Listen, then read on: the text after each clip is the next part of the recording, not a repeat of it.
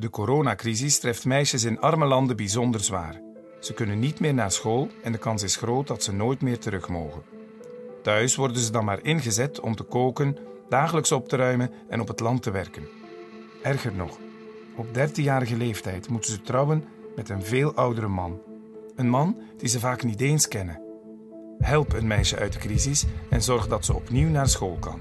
Doe een gift aan Plan International België.